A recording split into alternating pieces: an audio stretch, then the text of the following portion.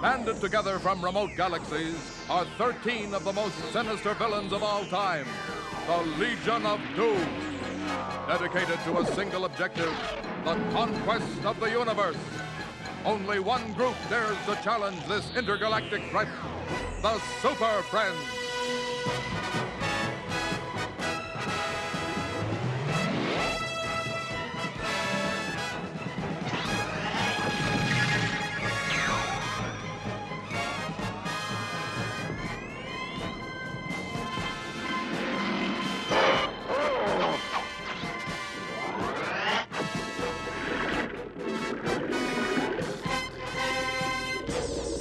The Justice League of America versus the Legion of Doom.